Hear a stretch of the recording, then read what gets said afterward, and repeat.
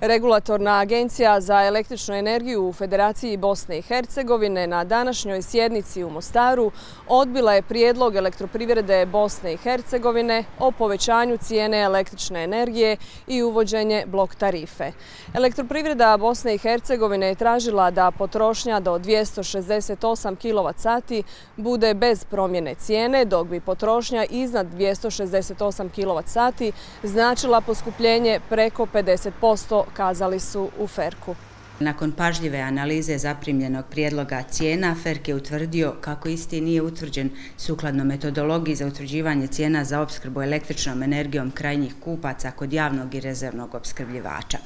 S obzirom na to, nisu ispunjeni ni uvjeti za davanje suglasnosti Ferka na isti, te Ferk utvrdio cijene opskrbe utemeljeno na odluci o tarifnim stavovima za korisnike distribucijskog sustava javnog preduzeća elektroprivreda Bosne i Hercegovine i podlogama korištenim za izračun i ono što mogu reći još je da za korisnike javne usluge opskrbe krajnjih kupaca ovog elektroprivrednog poduzeća cijene ostaju iste. Iz Ferka navode kako je prijedlog elektroprivrede Bosne i Hercegovine bio pun manjkavosti i bez adekvatne analize i jasnog razloga za poskupljenje električne energije, te da prema zakonu nisu dozvoljene velike cijenovne promjene. Studio